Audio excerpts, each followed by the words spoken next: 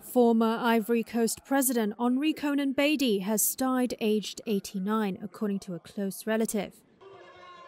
Bedie was a part of an old guard of politicians who dominated politics in the West African nation for a generation.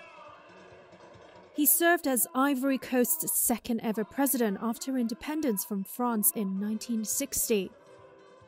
He ruled from 1993 until an economic slump and allegations of corruption led to his ouster in a military coup in 1999.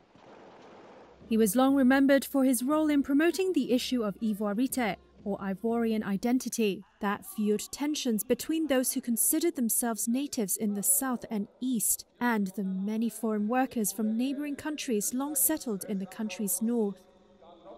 Bedie remained in politics until the end.